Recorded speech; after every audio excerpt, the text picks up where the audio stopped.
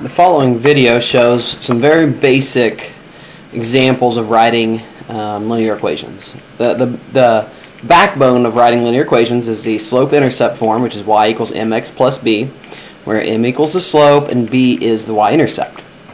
Uh, these problems are very easy because they give you both of those two values. They give you what the slope is, they give you what the y-intercept is, so it's just a matter of substitution.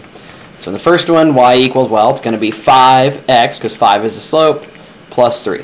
And that's your solution. Very, very simple problem. When they give you the slope and they give you the y-intercept, it's a very simple problem.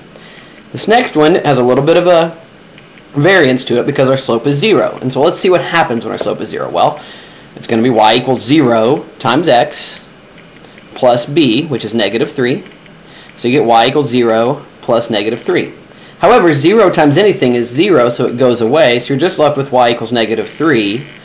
Well, if you remember back to slope, a zero slope is always a horizontal line. And as you can see, we talked about before, y equals negative 3 uh, is a horizontal line. Uh, any y equals a number is always horizontal. So that, and this shows you why that is. The third example deals with when we have no slope. And if you remember, no slope always um, has to do with a vertical line. And when you talk no slope, well, it doesn't really fit in to our y equals mx plus b.